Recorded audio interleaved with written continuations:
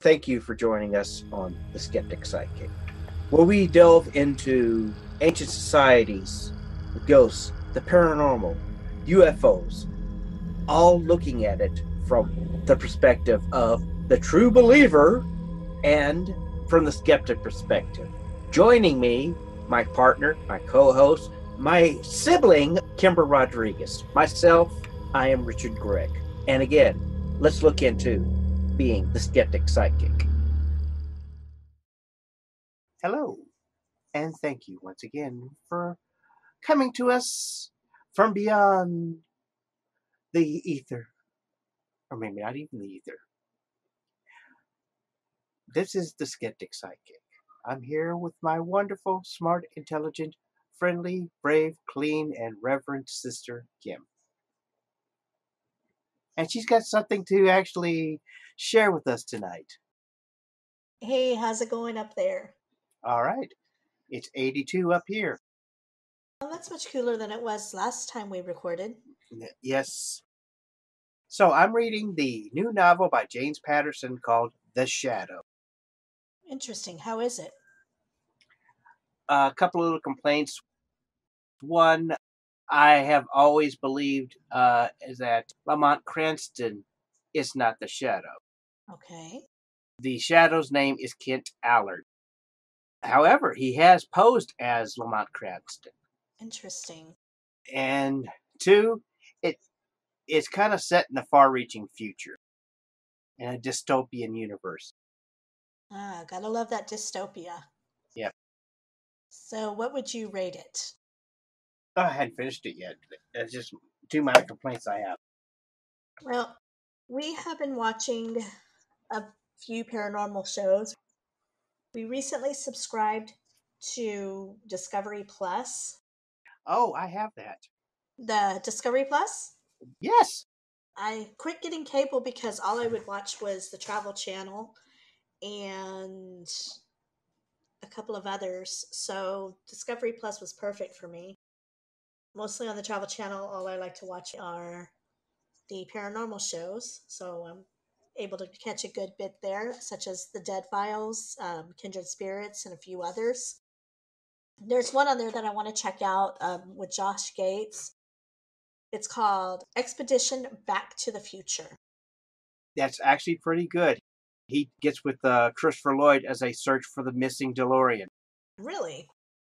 Another good show to watch on there is Destination Tonight. That's with Josh Gates as well. Uh, he started it during the pandemic.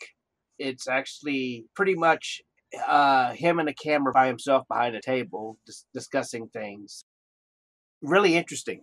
Oh, I'll definitely have to check that one out. I mean, I'm a big fan of anything that says destination at the beginning of it. Destination Bigfoot, Destination Truth, Destination Fact or Fiction, Destination Josh Gates, that sort of thing. Well, it's also good if it has expedition in the title because then it's usually dealing with Josh Gates, who's freaking awesome. Yes, love to sit back and have a nice little conversation with him. Yeah, he's one I definitely think I would enjoy meeting. So, shall we let everyone know what our topic is about this week? Bloody Mary is the girl I love. Bloody Mary is the girl I love. Bloody Mary is a girl I love. Now it ain't too damn bad. Thank you, Oscars and Hammerstein. Thank you. Now, imagine you're a 12, 13 year old girl and you're at your first slumber party. You are giggling, laughing, talking about boys, when one of your friends suggests going into the bathroom and summoning Bloody Mary. A little leery and afraid, but not wanting to stand out or show this to your friends, you hesitantly agree. All of you crowd into the bathroom huddled with the lights out and just one candle lit, and you proceed to call upon this mythological legend. Yes, tonight we will be discussing the legend of Bloody Mary and the different possibilities of what it could be, as well as more information on Bloody Mary in general. So, Richard, what would you like to share about Bloody Mary? First off, the drink itself, which it contained uh, seven ingredients of vodka, tomato juice, Worcestershire sauce, black pepper, celery salt, Tabasco, and lemon juice.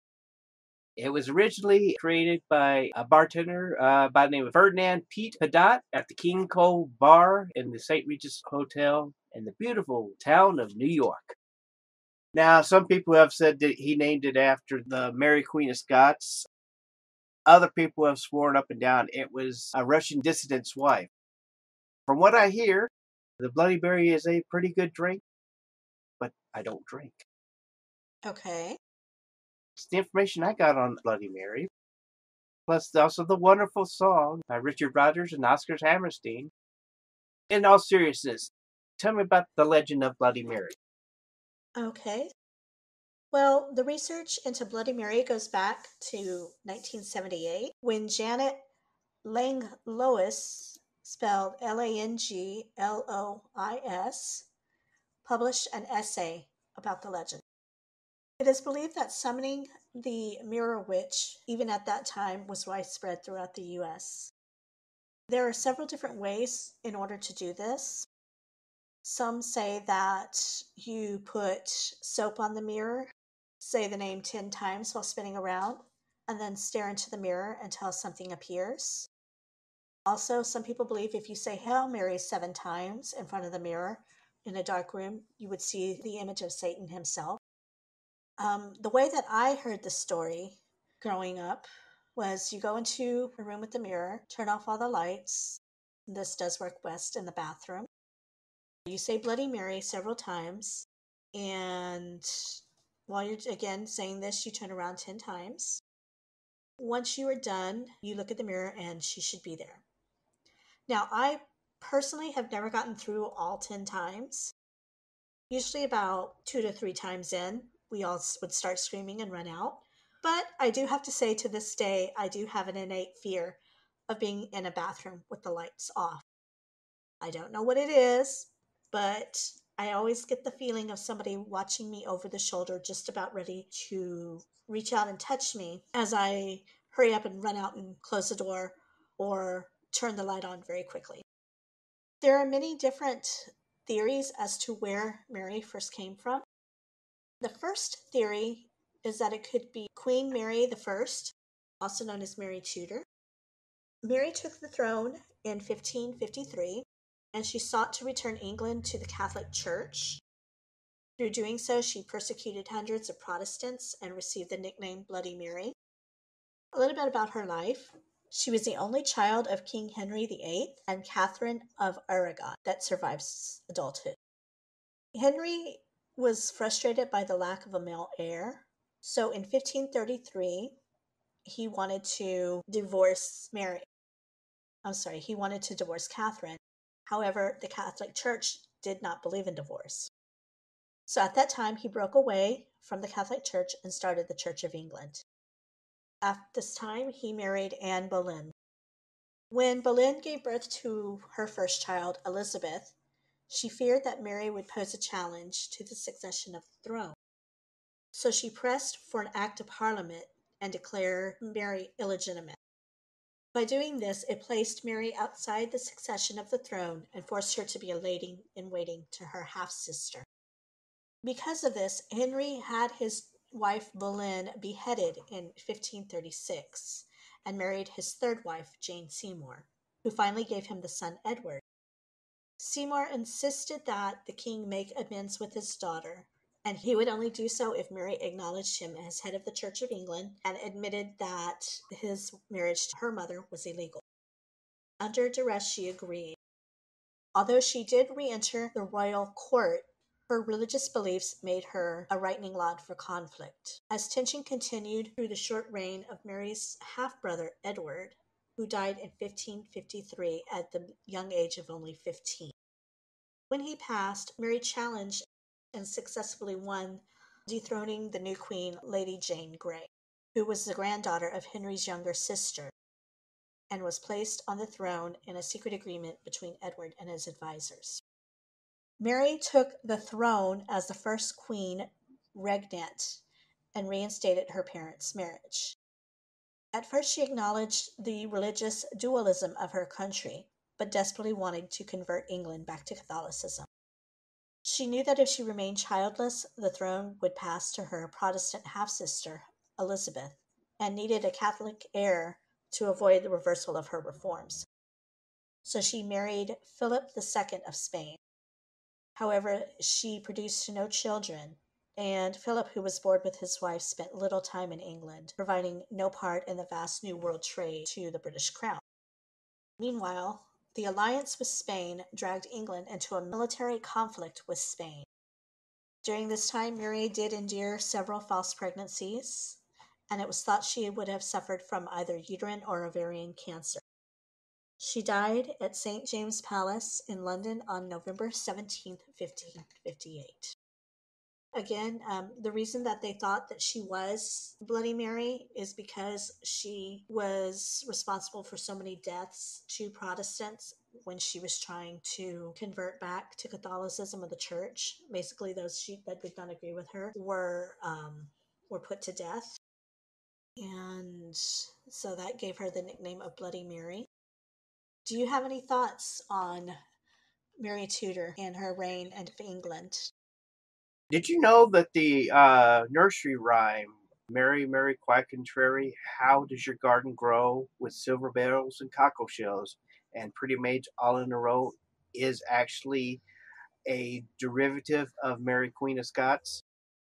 Uh, yes, but this is Mary Queen of Scots is Mary Tudor. No, Mary Queen of Scots is Mary Stuart, who was the first Queen of Scotland. I know they do continually get confused, but it was two different queens. Okay. I'm so sorry. no, you're fine.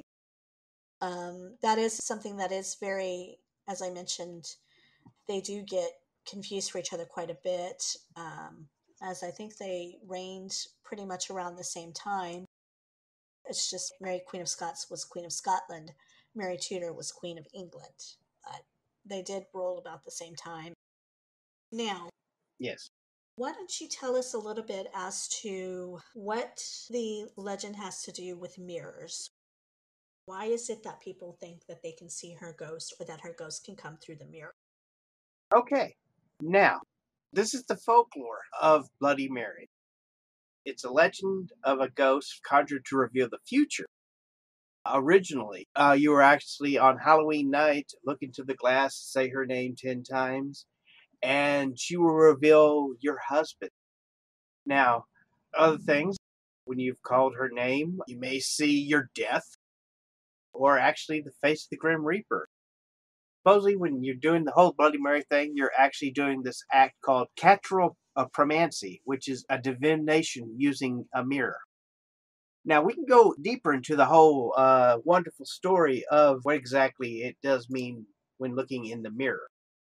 When a person dies, according to Eastern European and Jewish traditions, all the mirrors must be covered.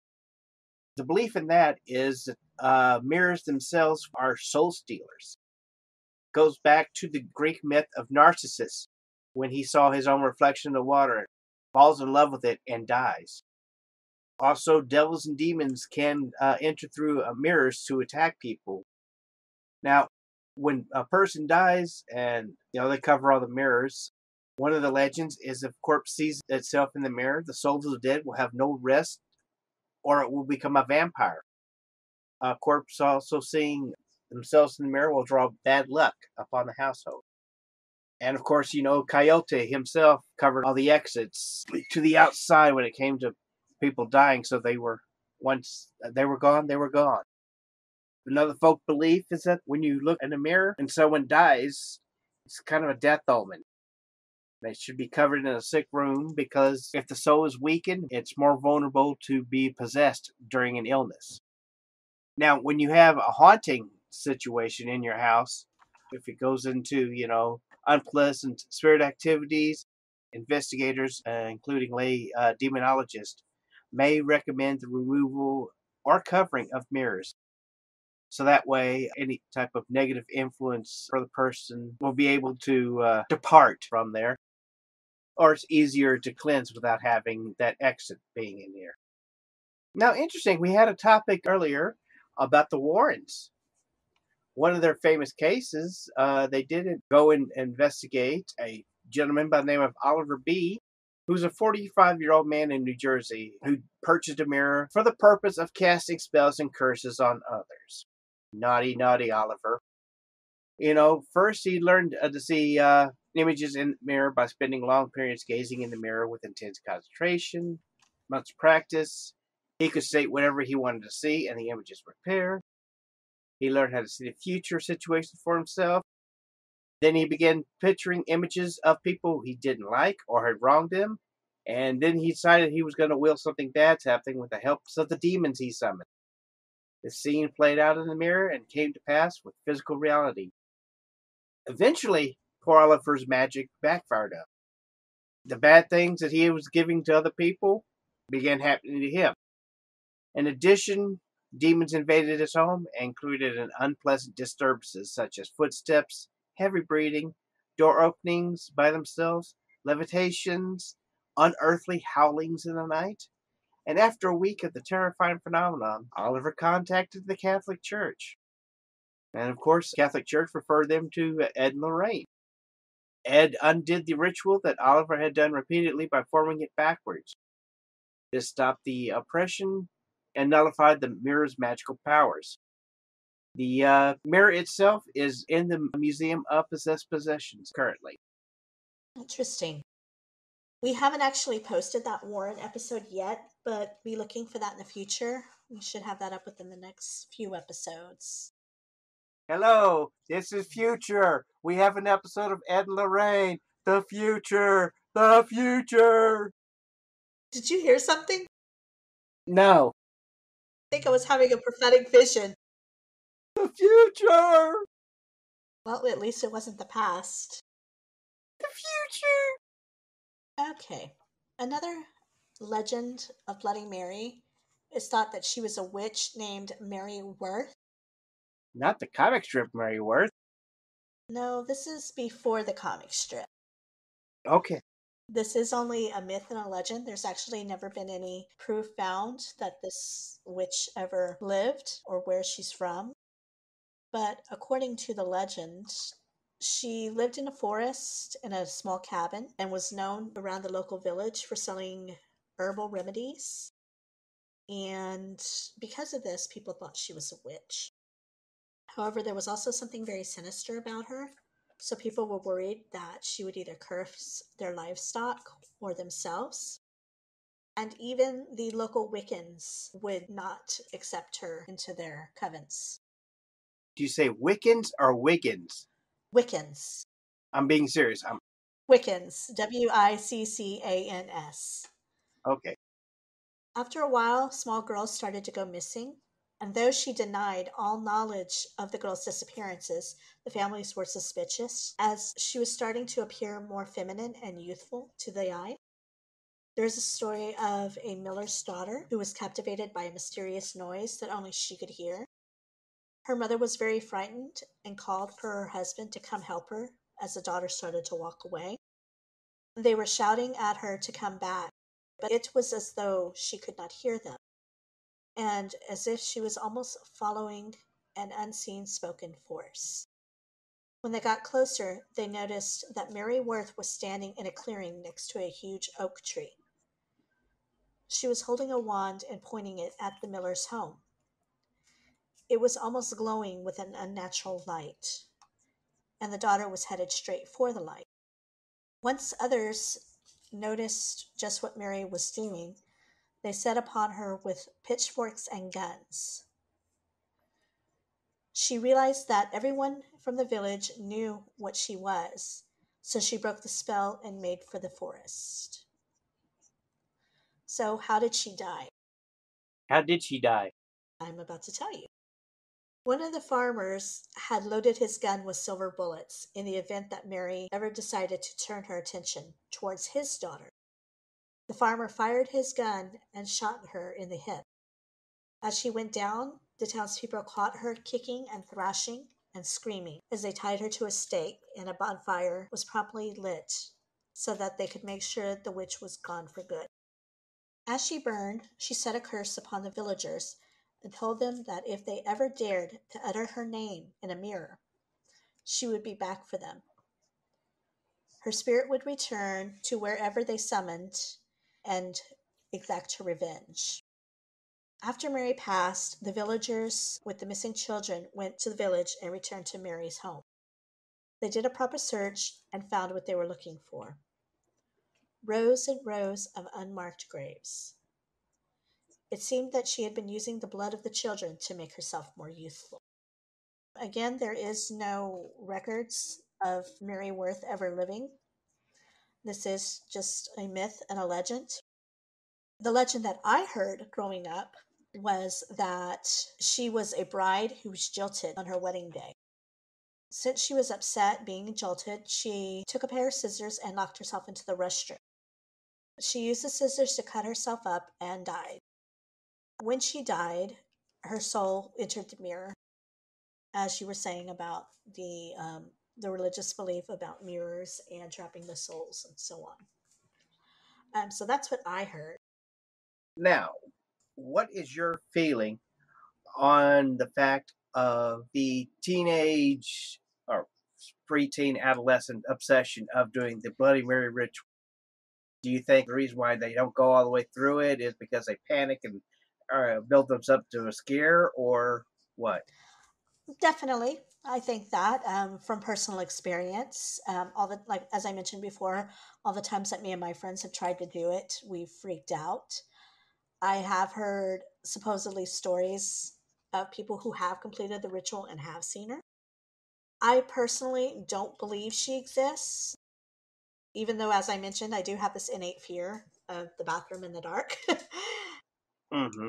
It is a illogical fear because I truly do not believe that this spirit does exist. I think it's just something that girls make up at slumber parties to scare each other. Although I did have an incident in the bathroom one time. It was in fifth or sixth grade, and we were at recess.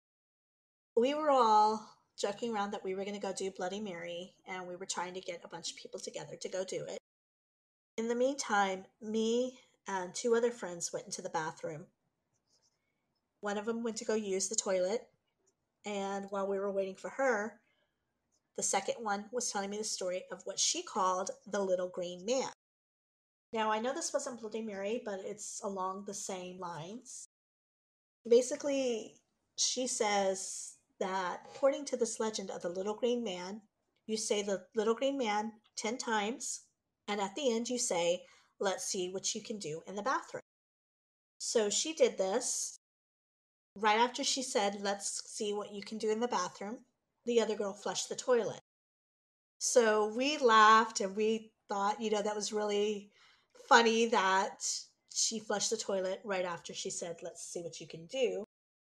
So we assumed that's what he could do. We go out, get about 10 other girls together. We're all going to go into the bathroom and call Bloody Mary. We go crowding into the bathroom, and there's this mob of these preteen girls at the entrance of the bathroom. Some trying to get out, too scared to actually go through with it. Others trying to hold on to them and keep them in so we can do it. Seeing this mob, I step back because I don't want to end up getting hit or pushed or kicked or whatever. So I'm standing about two to three feet away from the mob and about two feet from the wall behind us. Next thing I know, I go flying up against the wall. And I hit it pretty hard to make a loud bump, so where that everybody in the mob stops and looks at me. I could not explain what just happened. I was far enough away from them that they couldn't have pushed me into the wall, and I would have felt them push me. And I didn't stumble or trip and fall back into the wall. It was as if I literally just flew back into the wall. After that, we told him the story about the green man, and we all went running out of the bathroom and decided we were not going to try calling Bloody Mary that day. Have you any stories to share with calling Bloody Mary or anybody that you know of that has tried it, what they've experienced? Uh, I've seen girls running out of the bathroom trying to do the Bloody Mary ritual, and they get to maybe, I'd say, seven or eight uh, calls for it, and someone screams. It's like uh, the scene from the Marx Brothers at the opera, where the door opens and you see everybody kind of rolling out, you know, 15, 20 people. But still, it's five or six uh, preteen girls all screaming at the top of their lungs, and some of them crying, some of them laughing, you know. Usually it's like, did you guys do it? Oh, we got scared. That's pretty much what I've seen as far as people doing it. Like I said, I have heard tales of people who've actually gone through with it and supposedly seen something, but I have never personally witnessed it because every time that the people that I was with had tried it, we all chickened out. Either we didn't even start saying it, or maybe we got like two or three out and then we all ran out. Yes. Basically, you kind of build yourself up to, you know, that group fear factor. Exactly. As far as Bloody Mary in pop culture, there have been several references to her. They're the Urban Legends Bloody Mary film, which came out in 2005 and is an installment of the Urban Legends series. Mm-hmm. In 2006, they made a movie called Bloody Mary. And in 2008, there was The Legend of Bloody Mary. The Boys of Supernatural actually went after Bloody Mary in one episode. Mm-hmm. That episode was uh, directed by Peter Ellis. It is on the first season, episode five. And the premise is a game of Bloody Mary unleashes a ghost who lives in the mirror and kills by gouging out the eyes of her prey. They did have that as well as Ghost Whisperer in the third season. Um, there was a a spirit who was posing as Bloody Mary. Also on Charmed, which is a show that I've been watching. Uh, there is an episode of a demon who makes killers from different horror movies to come to life, and one of them is Bloody Mary. Lady Gaga has a track entitled Bloody Mary on her second album, Born This Way, where she mentions her by name. Um, so, as I mentioned, this is a very popular legend that has been around for decades, and it's still as popular today as it was when we were kids. What are your thoughts? I know you asked me if I believed that there was a bloody. Do you believe there is one? No, I don't. Do you believe it's something that was just made up to scare young girls? No, I think it was a cautionary type of tale. Explain. Okay. Basically, there is actually a practice called keto uh, pronoxmy or eno. Uh, excuse me, my uh, Latin is not that good. But it does kind of deal in trying to see visions or things coming through, uh, you know, meditating through a mirror. And so basically, uh, kind of a, a divination by using a mirror. Again, you know, if you don't know what you're doing, you may uh, pull in something you don't want using this type of situation. Comes all the way back from the ancient Greeks, as well as been known in ancient Russian folklore. I have heard of that divination. Don't they also use water? Yes. Or basically anything with a reflective surface can be used for this? Mm-hmm. Yes. My main thing is, like you said, be careful what you wish for because even if there's not an actual Bloody Mary, you could possibly be bringing in something not wanted. Because according to legend and many beliefs, the mirror can be used as a portal to invite things in. I would recommend not trying this. Definitely don't try this alone because you never know what you may bring out. Don't try this at home. Let's let the experts to do what they need to. Yes, don't try this at home. Try it in a public bathroom. Just kidding. Just a joke.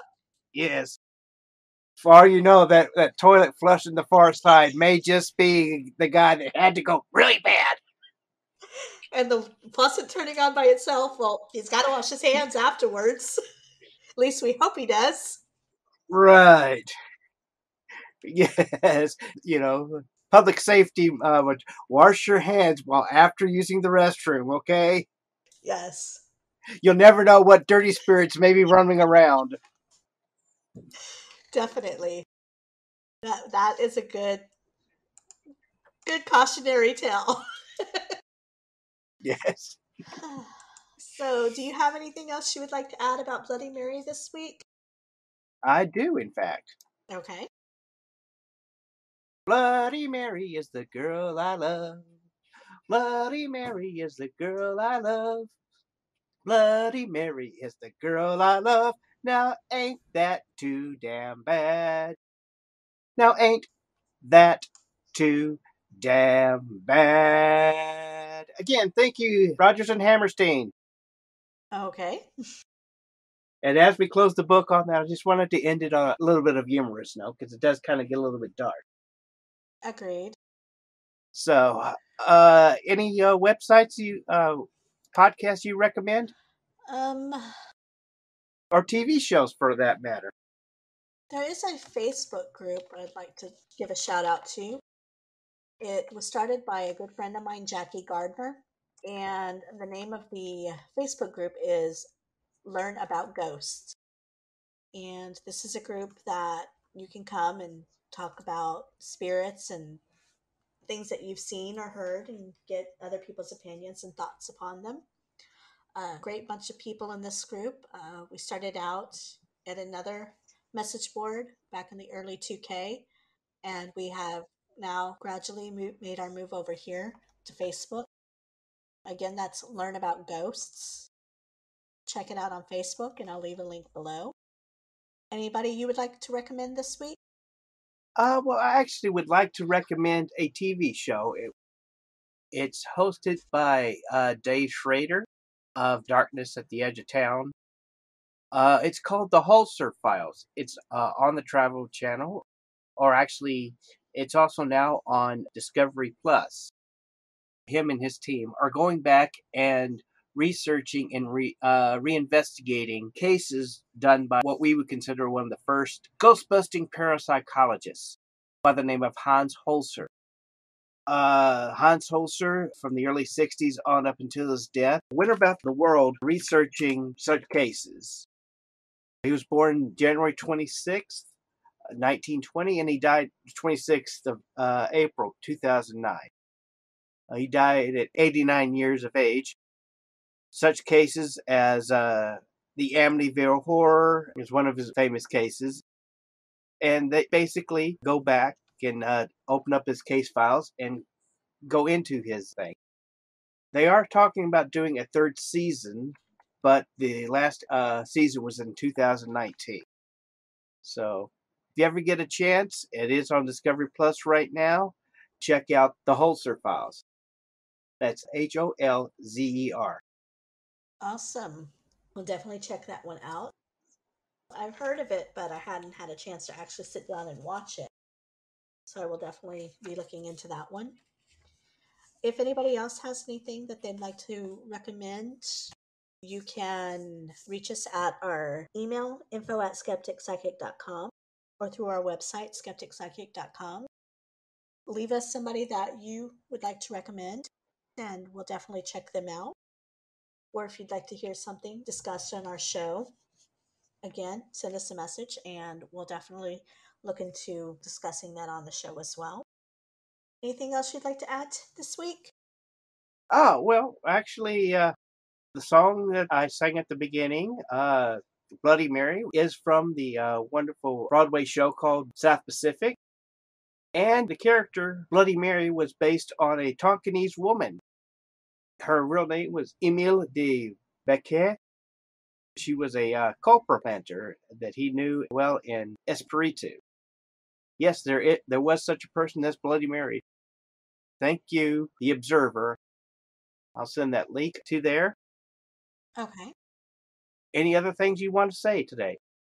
The only other thing I'd like to add is definitely check us out on Apple Podcast, or you can also listen to us on YouTube or Facebook. Definitely leave us a review. Let us know how you think we're doing, and we will read the review on air. May I say five stars? We'd prefer five stars, but Five stars? That's the most stars you can always give. just let us know how you think we're doing. If there's anything you think we need to improve on, let us know. If you like what we're doing, let us know. And again, we will read the review on air. If you'd like to remain anonymous, just let us know. Yes. And at this time, I think it's time that we close the casket on Bloody Mary for this week. Don't break it, just close it. I broke the mirror, man. Seven years, man. I can't believe it. Oh no. Future. Everybody, have a great week and have pleasant dreams. Unpleasant nightmares. Good night. Good night.